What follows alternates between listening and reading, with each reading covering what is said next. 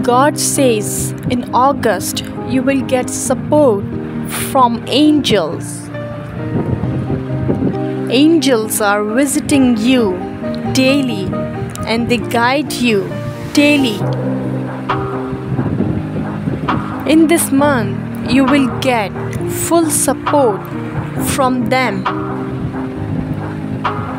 Pay attention to them because they do what I said to them. Without my commands, they won't do anything.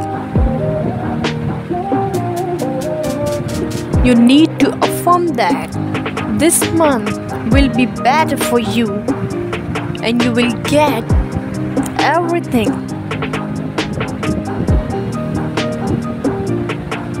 Be positive. Stay blessed.